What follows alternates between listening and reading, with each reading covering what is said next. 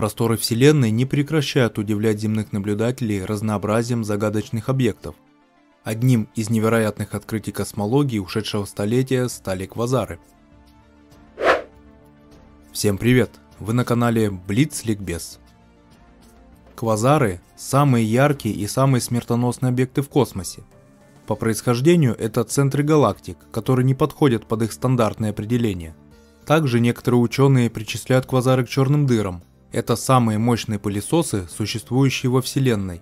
Они неизбежно всасывают все, что к ним приближается, разгоняя и разогревая это до немыслимых скоростей и температур. Вся эта карусель разлетается по полюсам и подсвечивается невероятно ярким светом, самым ярким, который когда-либо видела Вселенная. Также небезосновательна теория о том, что квазары – это зарождающиеся галактики, и мы можем наблюдать за их развитием. Квазары разбросаны по всей Вселенной, в основном это очень древние объекты, формировавшиеся на ранних этапах ее развития, но расположены они так далеко, что их свет доходит до Земли только сейчас. Расстояние до квазаров, как и других объектов дальнего космоса, рассчитывается с помощью эффекта Доплера. Они имеют красное смещение. Если коротко, то на спектрограмме в красную сторону смещаются объекты, которые удаляются от нас, а в фиолетовую, которые приближаются – то есть квазары движутся от нас и делают это с огромной скоростью, в 200 тысяч километров в секунду. Напомню, что скорость света равна 300 тысяч километров в секунду. Даже галактики удаляются от нас примерно на несколько десятков тысяч километров в секунду, но никак не несколько сотен. Квазары являются весьма удивительными и загадочными внегалактическими объектами. Судя по всему, это самые сильные источники энергии в космосе, эти объекты выделяют в 100 раз больше энергии, чем совокупность всех светил в нашей галактике. Представьте, один квазар размером с нашу Солнечную систему. По меркам космоса это микроскопический размер. Выделяет в 100 раз больше энергии, чем весь Млечный Путь. Невероятно, правда?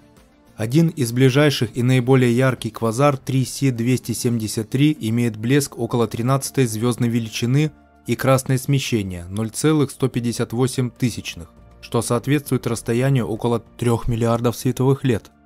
Самые далекие квазары, благодаря своей гигантской светимости, превосходящей в сотни раз светимость обычных галактик, регистрируются с помощью радиотелескопов на расстоянии более 12 миллиардов световых лет.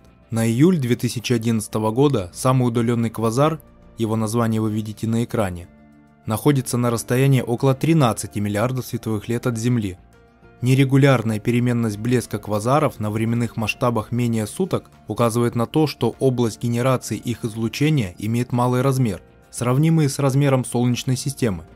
Как уже было сказано выше, квазары являются самыми отдаленными от Земли объектами. Это еще и самые древние небожители.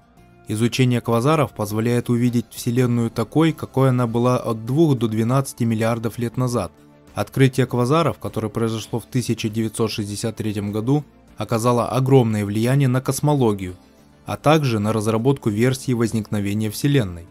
Квазары – это еще одна большая загадка человечества, решение которой не найдено до сих пор, и сейчас мы находимся в поиске ответа, как они появились. Остается только надеяться, что, узнав это, наша цивилизация все еще будет существовать.